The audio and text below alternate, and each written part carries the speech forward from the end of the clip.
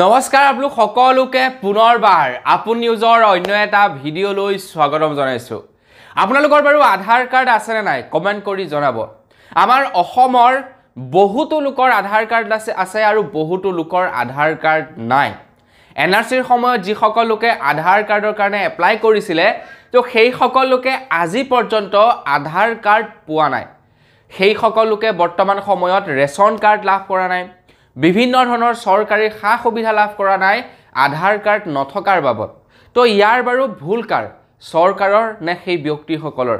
তেওঁলোকে আধাৰ কাৰ্ড সেই সময়ত বনাবলৈ দিয়াটো তেওঁলোকৰ ভুল হ'ল? নে চৰকাৰৰ এইটো ভুল হ'ল? কাৰ কি ভুল হৈছে? আপোনালোকে কমেণ্ট বক্সত নিজেই লিখি থৈ যাব। তো বন্ধু বান্ধৱীসকল আজি আপোনালোকৰ কাৰণে এটা বিশেষ খবৰ ওলাইছে। আপোনালোকৰ যদি আধাৰ কাৰ্ড নাই আপোনালোকে যদি এতিয়ালৈকে আধাৰ কাৰ্ড বনাব পৰা নাই তেন্তে আপোনাৰ কাৰণে এটা বিশেষ খবৰ আপোনাৰ কাৰণে এটা বেয়া খবৰ ওলাইছে। শীঘ্ৰেই আপোনালোকে আপোনালোকৰ নিজৰ ডিষ্ট্ৰিক্টৰ আধাৰ চেণ্টাৰত গৈ আধাৰ কাৰ্ডখন এপ্লাই কৰি বনাই লওক নহ'লে আপোনালোকে জানুৱাৰী মাহ অহাৰ লগে লগে বিপদত পৰিব পাৰে বুলি জনাইছে। তো বন্ধু বান্ধৱীসকল আধাৰ কাৰ্ড নথকা লোকসকলৰ কাৰণেনো কি ডাঙৰ এটা খবৰ ওলাইছে কিয় তেওঁলোকে বিপদত পৰিব মই আজি আপোনালোকক ইয়াৰ ওপৰতে জনাম। তো মই শ্ৰী পাঞ্জিত গগৈ আপোনালোকে চাই আছে আপোন নিউজ আহক আৰম্ভ কৰোঁ আজিৰ ভিডিঅ' আজিৰ ভিডিঅ'টো আৰম্ভ কৰাৰ আগতে লাইক এটা কৰিবলৈ নাপাহৰিব চেনেলটো যদি এতিয়ালৈকে ছাবস্ক্ৰাইব কৰা নাই তেন্তে চেনেলটো ছাবস্ক্ৰাইব কৰি ল'ব এনেকুৱা ধৰণৰ খবৰবিলাক নিতৌ আপোনালোকে পাই থাকিবৰ কাৰণে। এতিয়া চাওক আধাৰ কাৰ্ডটো বৰ্তমান সময়ত খুবেই এটা প্ৰয়োজনীয় ডকুমেণ্ট হৈ পৰিছে। আধাৰ কাৰ্ডখন এতিয়া সকলোবিলাক ডকুমেণ্টৰ লগতে লিংক হৈ থাকে। আপোনালোকে ঘৰৰ বাচ্ছাটিৰ বাৰ্থ চাৰ্টিফিকেট আনিবলৈ যাওক তাতো আপোনালোকৰ আধাৰ কাৰ্ড জমা কৰিব লাগে। আপোনালোকে ৰেচন কাৰ্ডৰ লগত আধাৰ কাৰ্ড জমা কৰিব লাগে।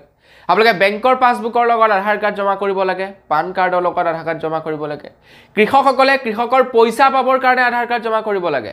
মুঠৰ ওপৰত এতিয়া ক'বলৈ গ'লে আধাৰ কাৰ্ডখন এটা মেইন ডকুমেণ্ট হৈ পৰিছে আৰু যি ডকুমেণ্ট নহ'লে নেকি আমি বৰ্তমান সময়ত চৰকাৰী সা সুবিধাৰ লগতে বিভিন্ন ধৰণৰ কাম কাজ একেবাৰে কৰিব নোৱাৰোঁ। মানুহটো একেবাৰে পংগু হৈ যায় যদিহে আধাৰ কাৰ্ডখন নাথাকে। তো তেনে সময়তে বহু লোকৰ বৰ্তমানেও আধাৰ কাৰ্ড নাই কিছু লোকে বনাব পৰা নাই আৰু কিছু লোকে নিজ ইচ্ছাৰে বনোৱা নাই।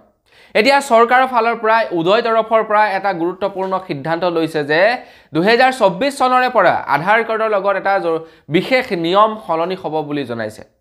আমি বৰ্তমান সময়ত যদি আধাৰ কাৰ্ড এখন এপ্লাই কৰিবলৈ যাওঁ তেন্তে আপোনালোকে কেৱল আপোনালোকৰ বায়'মেট্ৰিক দিলেই আধাৰ কাৰ্ড ওলাই আহে তিনি চাৰিদিন সময়ৰ ভিতৰত।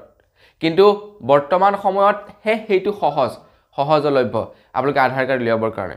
কিন্তু উদয় তৰফৰ পৰা জনোৱা অনুসৰি দুহেজাৰ চৌব্বিছ চনৰে পৰা ওঠৰ বছৰৰ যিসকল ব্যক্তিয়ে প্ৰথমবাৰৰ কাৰণে আধাৰ কাৰ্ড বনাব ওঠৰ বছৰৰ ওপৰৰ যিসকলে প্ৰথমবাৰৰ কাৰণে আধাৰ কাৰ্ড এপ্লাই কৰিব এতিয়াৰে পৰা পাছপৰ্ট যেনেকৈ ভেৰিফাই হয় তেনেকৈ আধাৰ কাৰ্ডো ভেৰিফাই হ'ব বুলি জনাইছে।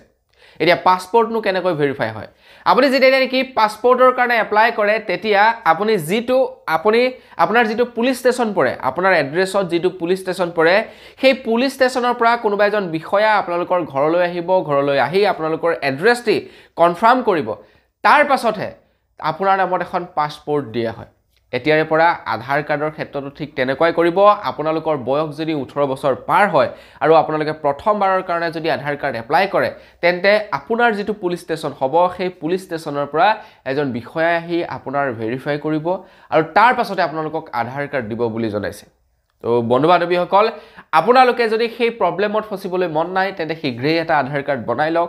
এটলিষ্ট আপোনালোকে এইকেইদিনৰ ভিতৰতে বনাবলৈ ট্ৰাই কৰক তেতিয়া আপোনালোকৰ কোনো ধৰণৰ এনেকুৱা ধৰণৰ ভেৰিফায়াৰ ছিষ্টেম নাহে। কিন্তু জানুৱাৰী মাহ অহাৰ লগে লগে এনেকুৱা ধৰণৰ ভেৰিফাই ছিষ্টেম আহিব বুলি জনাইছে। তো বন্ধু বান্ধৱীসকল এই নতুন ছিষ্টেমটো কৰাৰ কাৰণে আপোনালোকে ভাল পাইছে নে বেয়া পাইছে কমেণ্ট কৰি জনাব। এই ছিষ্টেমটো বাৰু কিয় কৰিছে জানেনে? কাৰণ আজিকালি বহুতে জালিয়াতি কৰি আধাৰ কাৰ্ড বনায়। তো তাৰ কাৰণে এই নতুন ছিষ্টেমটো কৰা হৈছে। তো আপোনালোকে বাৰু ভাল পাইছে নে বেয়া পাইছে এই নিয়মটো কৰাৰ কাৰণে কমেণ্ট কৰি জনাব। আৰু আজিৰ খবৰটো জানি কেনেকুৱা লাগিলে সেইটো কমেণ্ট কৰি জনাব। তো পুনৰ এটা ভিডিঅ'ত আপোনালোক সকলোকে লগ পোৱাৰ খাই দিলোঁ। বিদায় মাগিছোঁ। ধন্যবাদ। জয় অসম।